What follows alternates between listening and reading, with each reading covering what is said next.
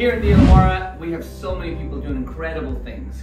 Jade Damien's Community Crew celebrates exactly that. You can nominate somebody that you think is doing amazing work.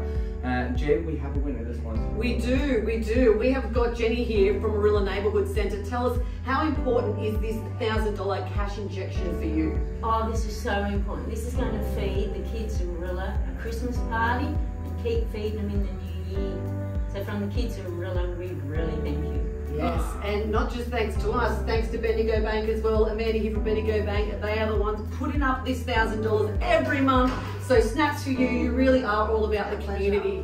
Woohoo! This is your massive check to take. It's actually, it's actually as big as you. You can hide behind the check, Debbie. Where's Jenny?